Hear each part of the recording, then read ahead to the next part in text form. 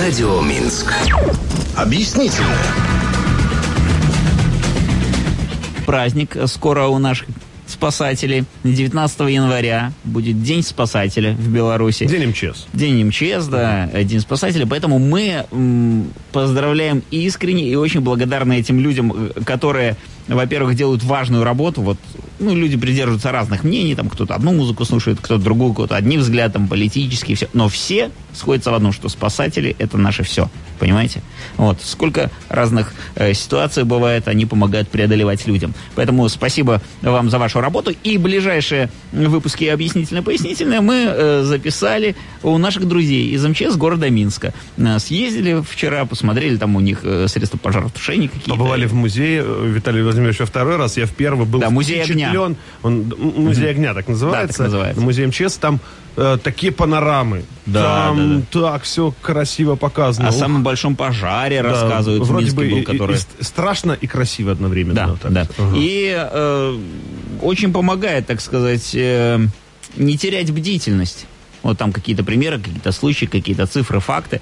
А, Поэтому и вам желаем не терять бдительность и сейчас участвовать в нашей рубрике. А, Подарок у нас от МЧС подготовлен. э, Прекрасные сувениры интересные. А, Там, ну, не будем все перечислять, сами увидите, когда получите этот подарок. Для этого нужно будет опознать слово. Сейчас включаем, как сотрудники Минского МЧС описывают одно слово, связанное, э, связанное с их профессией. Описывают с разных сторон жизни. Как только вы поймете, что это за слово, присылайте его в виде смс на номер 9240. Кто первым присылает правильное слово, мы через 10 минут с вами связываемся, задаем дополнительный вопрос, подсказываем всячески и отдаем подарок. Вот так вот все просто, казалось бы. Но определите, пожалуйста, что это за слово нам описывают. СМС на номер 9240, включаю объяснение. Теплое море. На курортах бывают такие вечеринки. Она широко применяется на аэродромах для покрытия взлетно-посадочной полосы.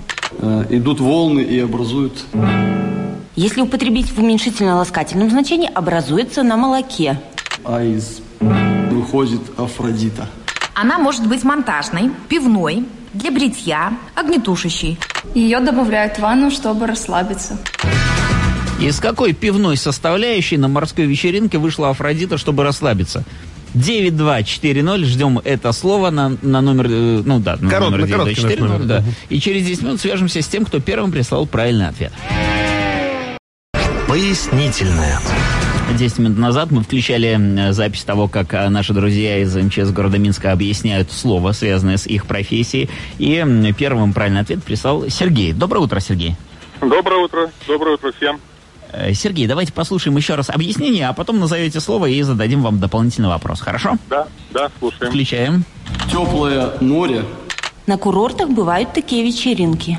Она широко применяется на аэродромах для покрытия взлетно-посадочной полосы. Э, идут волны и образуют Если употребить в уменьшительно-ласкательном значении, образуется на молоке. а из выходит Афродита. Она может быть монтажной, пивной, для бритья, огнетушащей. Ее добавляют в ванну, чтобы расслабиться. Сергей, что это за слово такое многофункциональное? Слово Пена. Пена. Совершенно верно. Знаете, Сергей, вот дополнительный вопрос. Э, Нам тоже помогали составлять сотрудники МЧС, поэтому он не будет носить традиционно музыкальный характер, ну, а праздничный, в День спасателя. А, Они о своем оборудовании тут задали вопрос. Ну, Вы мы вот сталкивались хоть раз в жизни с сотрудниками МЧС? Вот. Может, с- приятельствуете с кем-то? Ну, вообще, бывало, по- даже по случаю у нас на даче баня горела, поэтому А. приходилось встретиться. Ага. Вот. Но, Все удачно вышло, в общем, нормально. надеюсь, больше в вашей жизни подобных встреч не случится, только если в дружеской какой-нибудь компании. Ну вот, а мы про оборудование сотрудников МЧС вопрос вам сейчас зададим с вариантами ответа. Да. Скажите, пожалуйста, как э, называется лом, специально многофункциональный в подразделениях МЧС, который вскрывает двери, там срывает петли, открывает крышки? У него есть такое простое человеческое название. Лом хулиган, лом бандит, лом сорванец или лом головорез. Может, можете пока предположить что-нибудь? Что, что ближе вот к вскрытию дверей, срыванию петель и открыванию крышек гидрантов? Хулиган, бандит или сорванец с Ну, головорезом? бандит.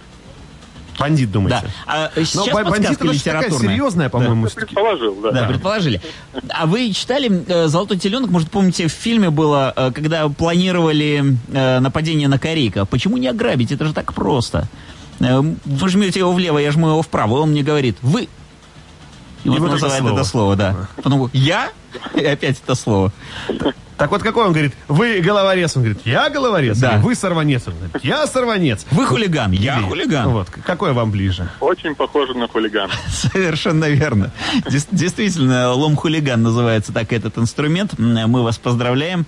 Эм, Расскажем сейчас, как забрать подарок. Спасибо за участие большое. Оставайтесь на связи.